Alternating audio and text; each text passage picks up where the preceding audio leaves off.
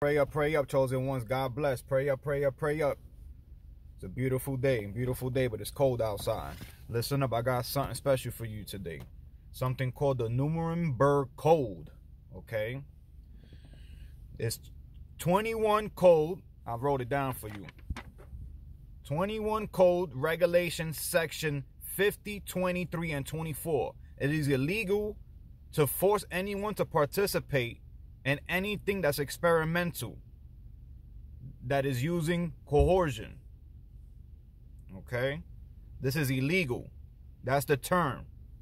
Coercion.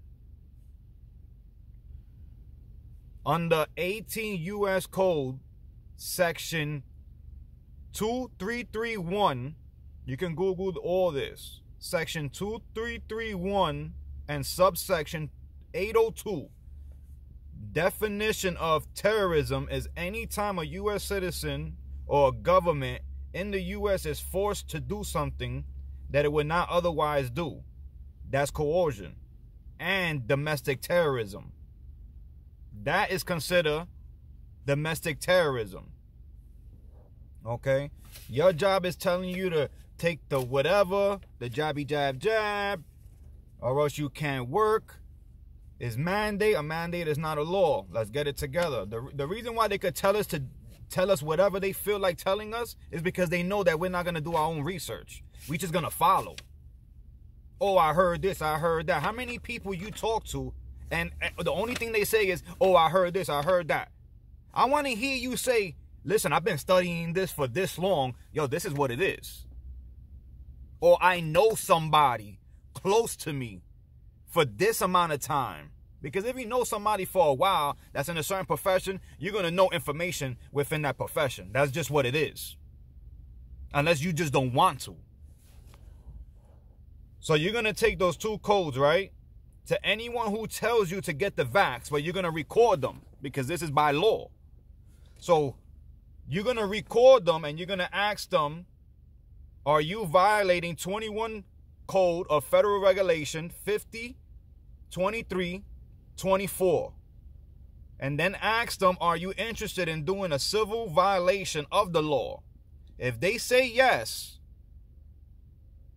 then say you are willing to violate 18 U.S. Code Section 2331, which says it is illegal to coerce the population and it is a felony.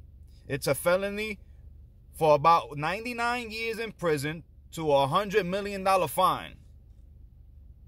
Once you, so this is what it is. Once you tell them, you could print this out on Google. Once you tell them these laws, now they officially are noticed. So whatever they do after you tell them and show them these laws is over. It's a wrap. There's a lot of people right now that's winning lawsuits and they don't want to talk about it.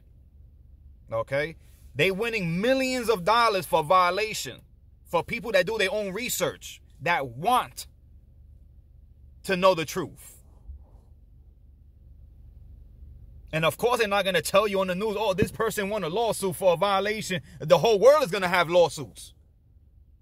But the moment you do your research, nobody can tell you anything. I've been telling my clients for a long time already. Get yourself a constitutional lawyer. It's simple. Call a constitutional lawyer. Tell them, hey, this is what's going on in my job. Do I have a case? Yes or no? Simple. Simple. But we make it harder. We make it harder. We make it harder. And then we want to blame somebody. Biden this, Biden. No, look at you. This shit should have never even gone this far.